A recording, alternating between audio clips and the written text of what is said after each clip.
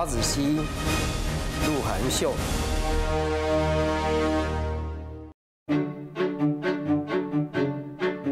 从盆地身旁经过，我习惯靠着夕阳走，压低身子，生怕被人发现，在肩膀的掩护下匍匐前行，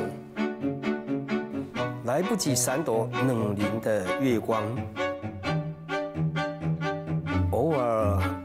东北季风吹歪了身形，暴雨来袭令我情绪失控，四处流窜惹是生非，很近的甩尾擦撞出一串串火花。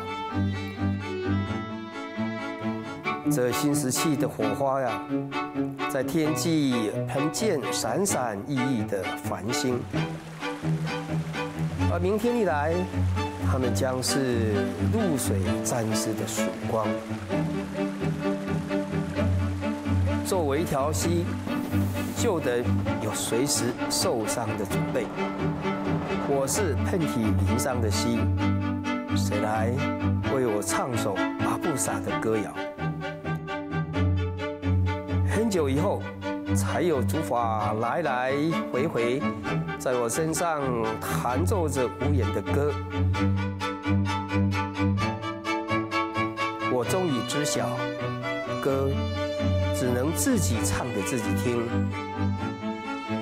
大肚山也罢，远方的海岸遥遥，雾来雾散，潮水何时了？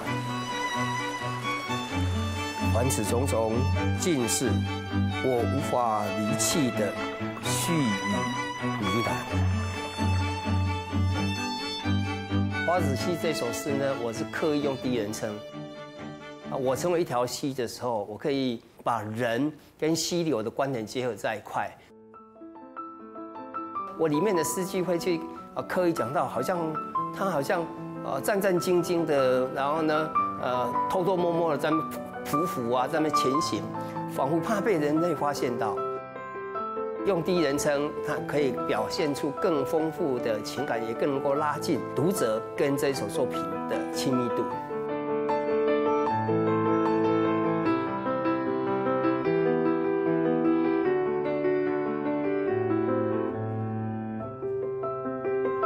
飞跃文学地景，看见台中法子溪之美。